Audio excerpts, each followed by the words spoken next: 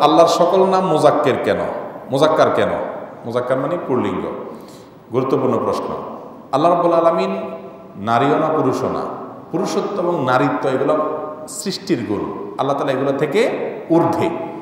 লাইসা কামিসলি হিসাই তার অনুরূপ কেউ নাই, সমকক্ষ কেউ নাই।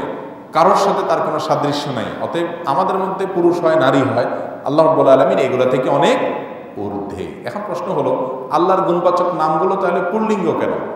সুন্দর প্রশ্ন। এটার উত্তর হলো, এটা ডিফল্টটা দেওয়া হয়েছে।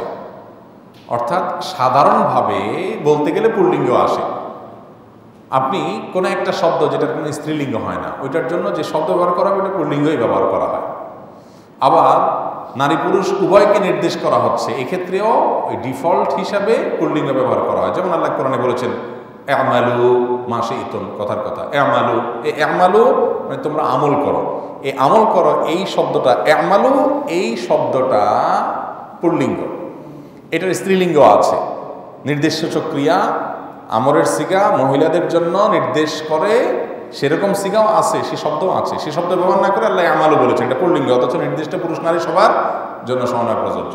এটা বাই ডিফল্ট হিসাবে বলা। আল্লাহ তালার সমস্ত গুণবাচক নাম উজাক্কার বা পুরলিঙ্গ হওয়ার মানে এই নয় নওয়াজবিল্লা আল্লাহ তালা পুরুষ অথবা নারী নন, এরকম কিছু না। পুরুষত্ব, নারী, নারীত্ব, এগুলো থেকে আল্লাহ অনেক ঊর্ধ্বে।